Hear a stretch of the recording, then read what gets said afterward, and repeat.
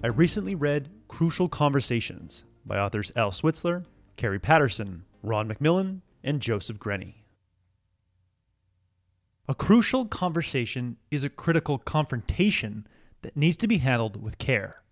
Examples include calling a client who hasn't paid an overdue invoice, or walking into your boss's office to talk about a promotion he promised you but hasn't delivered on yet, or confronting a lazy teammate who isn't doing his share of the project, or talking to your sibling about your parents' inheritance.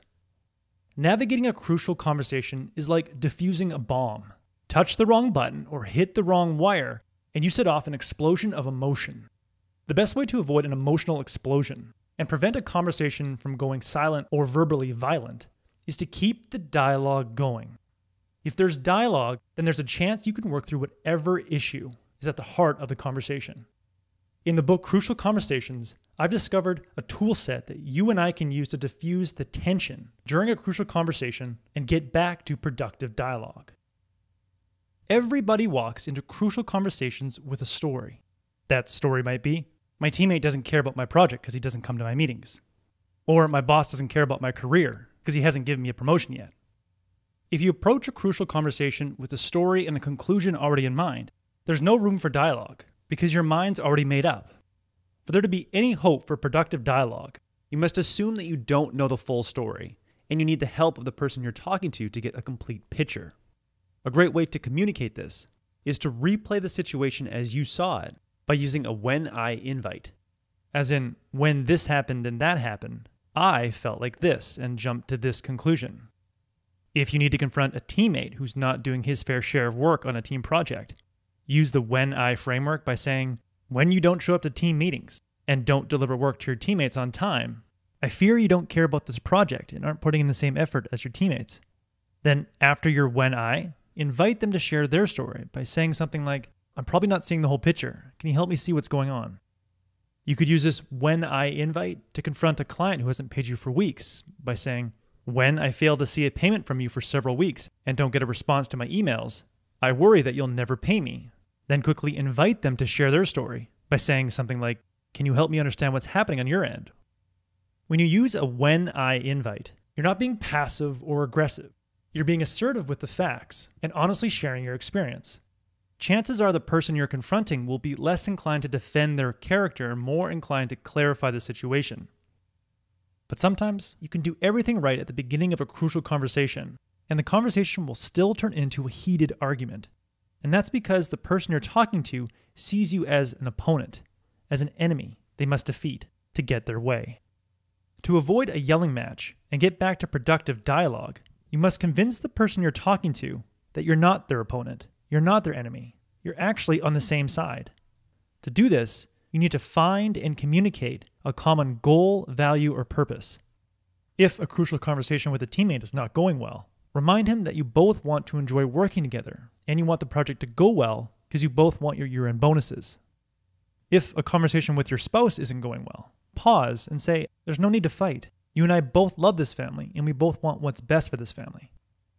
When you find common ground, you'll realize that you and your conversation partner simply have conflicting strategies to achieve the same ultimate goal. Once you identify and communicate that ultimate goal, your conversation transforms from a fight to more like a strategy brainstorming session.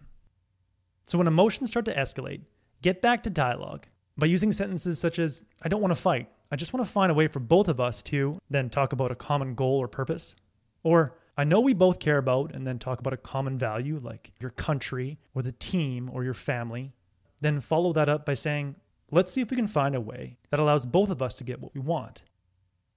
At this point, if the person you're talking to remains silent, try nudging them back to productive dialogue by priming their point of view.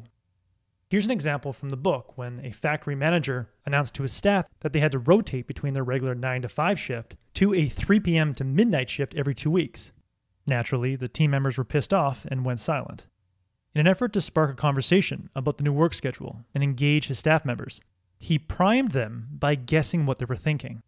He said, Are you thinking that the only reason we're doing this is to make money? That maybe we don't care about your personal lives? After a brief pause, someone answered, Well, it sure looks like that. Do you have any idea how much trouble this is going to cause?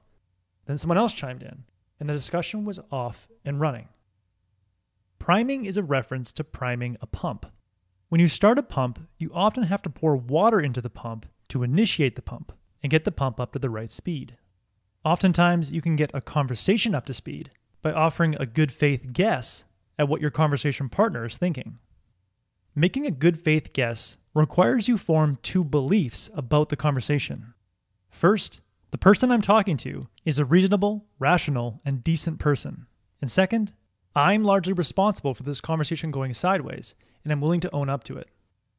With these two foundational beliefs, any attempt to guess what people are thinking will come with a dose of goodwill and a sense of humility, both of which get a conversation back to productive dialogue.